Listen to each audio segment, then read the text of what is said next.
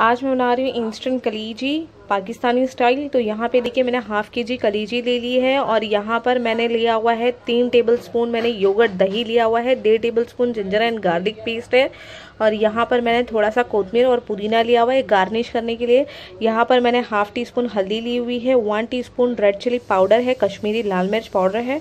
यहाँ पर मैंने सॉल्ट लिया हुआ है, यहाँ पर salt according to your taste जाएगा। यहाँ पर मैंने वन टी स्पून गर्म मसाला पाउडर लिया है one teaspoon black pepper powder है वन टी स्पून कसूरी मेथी है और यहाँ पर मैंने लाल कुटी हुई मिर्चें ली हुई है, भुनी हुई।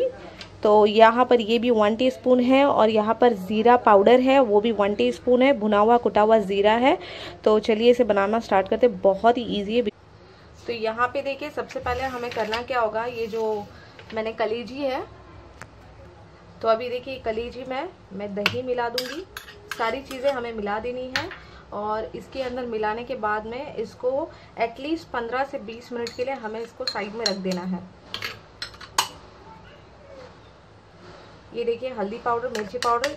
और मुझे किसी ने सजेस्ट किया है कि मतलब वो शेफ़ है तो उन्होंने बोला है कि मैं बोलूँ, ये किसके साथ में खाते हैं? तो मैं बता देती हूँ आपको। इसको, ये पाकिस्तानी है तो ज़्यादातर पाकिस्तानी लोग इसको नान के साथ में और तंदूरी रोटी के साथ में इसको खाते हैं। यहाँ पर गरम मसाला और सॉल्ट चली जाएगा और इसे मैं अच्छे से मिक्स कर लूँगी और इसके अंदर अराउंड वन टेबल स्पून के करीब में थोड़ा सा ऑयल ऐड करेंगे और इसमें लेमन जूस भी जाएगा। सॉरी मैं बताना भूल गई थी। इसके अंदर two tea two teaspoon lemon juice भी जाएगा। मैं डाल के दिखाती हूँ आपको अभी। ये देखिए two teaspoon lemon juice डाल रही हूँ मैं इसके अंदर। और इसे मैं अच्छे से भी मिक्स कर लेती हूँ।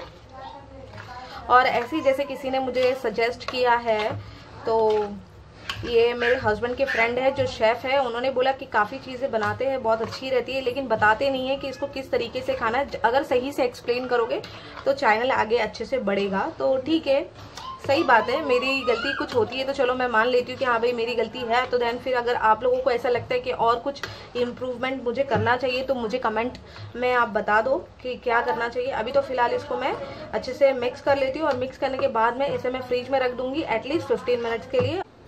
यहाँ पे देखिए मैंने वन टेबल स्पून ऑयल ले लिया है और अभी मैंने ये देखिए, ये मैंने 15 मिनट से रखा था फ्रीज में, अभी मैंने फ्रीज में से निकाल लिया है। तो अब मैं क्या करूँगी इसको आप हमेशा इस तरीके से मसाला लगाकर आप इसको डीप फ्रीज़र में मतलब फ्रीज़र में आप इसको रख सकते हो और कभी भी आपको ज़रूरत होगी, आप थोड़ा सा निकाल के फ्राई करके खा सकते हो। तो ये देखिए, मैंने देखिए ये भी बता दिया है कि आप इस, ऐसा मसाला लगाकर आप एक डब्बे में भरकर आप इसको फ्रीजर में रख सकते हो। जब भी आपको ज़रूरत होगी बनाने की तो आप निकाल के इसको बना सकते हो। तो अब हमें क्या करना है? अभी मैं ये इसको, मैंने एक table spoon one table spoon मैंने पहले मैरिनेशन में डाला था और वन टेबल स्पून मैंने इसके अंदर इसमें डाला हुआ है। अभी फ्राई करते टाइम तो अभी मैं क्या करूँगी? बस इसे मैं अच्छे से कुक होने दूँगी और कुक भी हमें, जो कलेजी है, उसे हमें ज़्यादा कुक नहीं करना है। कलेजी ज़्यादा कुक करते तो होती है, एकदम हार्ड हो जाती है वो। तो बस इसे मैं अच्छे से एक बार मिक्स करती हूँ और इसे मैं फास्ट फ्लेम पे 10 मिनट कुक करूँगी और फिर देखूँगी अगर ये बरोबर है तो फिर मैं गैस का फ्लेम बंद कर दूँगी, अगर नहीं तो देन मैं एक बार चेक करूँगी और पाँच मिनट और कुक करूँगी। देखिए मैंने इसके अंदर पानी वगैरह नहीं डाला है, उसको फास्ट फ्लेम पे मैं 10 मिनट तक कुक करूँगी और आप भी मैं सजेस्ट करूँगी इसमें पानी मत डालिए, क्योंकि जो जो फ्लेवर ऐसा आएगा, वो पानी डालने के बाद में नहीं आएगा। ये ऑटोमेटिकली पानी रिड्यूस करेगा। आपको मैं 10 मिनट के बाद में आप दिखाती हूँ।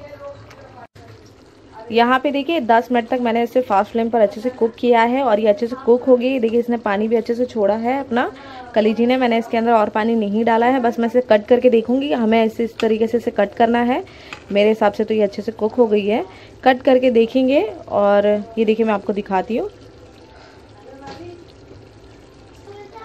यहाँ पे देखिए, ये देखिए, मैंने इसको एक कट करके रखा है। मैं आपको दिखाती हूँ। ये देखिए, ये आपको इसके अंदर अगर खून नहीं दिख रहा है रेड रेडनेस नहीं दिख रहा है दैट मीन्स कि ये अच्छे से कुक हो गया तो चलिए इसे मैं डिश आउट कर लेती